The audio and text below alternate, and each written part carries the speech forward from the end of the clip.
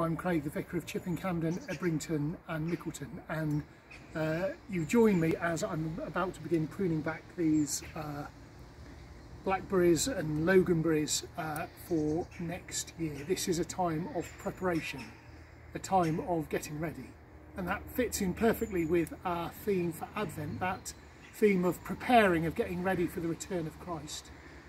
Tomorrow reading, tomorrow is the second Sunday of Advent and it's the beginning of Mark's Gospel and it begins with a bang, we're straight into the action.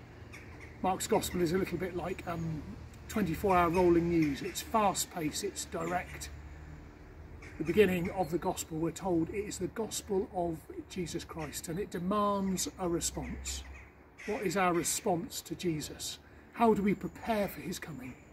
I'm about to get lacerated as I cut these back and I'll be finding thorns and scratches for weeks to come. But I do that because I know the spring is coming and there will be a beautiful harvest in the summer. What are we doing as we prepare for Christ's return?